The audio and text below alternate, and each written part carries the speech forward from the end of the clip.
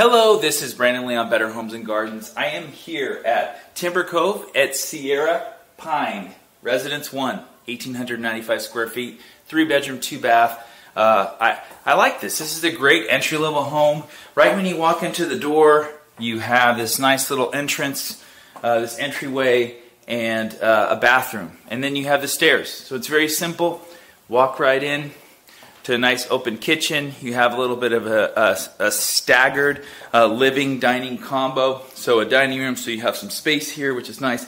Now again, this is a real 360 home tour, so you're able to just take your finger and scroll it around uh, however you like to be able to see. Um, this is a very, very popular uh, two-tone color of the grays and the whites. Uh, this is quartz countertops, which is nice. So if you want a little more space, the Residence 2 is just over 2,000 square feet, and the uh, Residence 3 is about 2,300 square feet, both four bedroom, three bath. So let's go and get up the stairs here. We're going to go up to the stairs. We have a nice little hallway with the built-in desk area. And as we walk, we're going to go straight into the master bedroom. So one large window here. Uh, one drawback of this community is the backyards are fairly small. Every once in a while they'll have one that's 40 or 45 square feet uh, deep, but most of them are going to be 9, 10, or 11, maybe 12. Walk in the master bath, full-size shower, dual sinks, and still a decent-sized walk-in closet. Uh, pretty good size here with a window in the closet, which is really nice to get that natural light.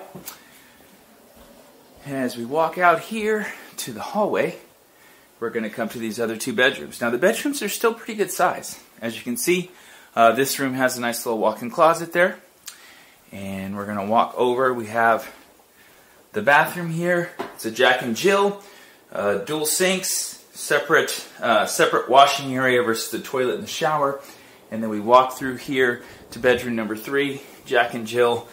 I, I like this house uh, for uh, for an entry level small family, one to two children upstairs laundry as well, which I really, really like. I like this area here where kids can study and have their space. Um, so overall, great entry-level home. You know, Rocklin has award-winning school districts. So if you're curious about this model, um, feel free to reach out to us for pricing. My name is Brandon Leon, Better Homes and Gardens. Good luck on your home search.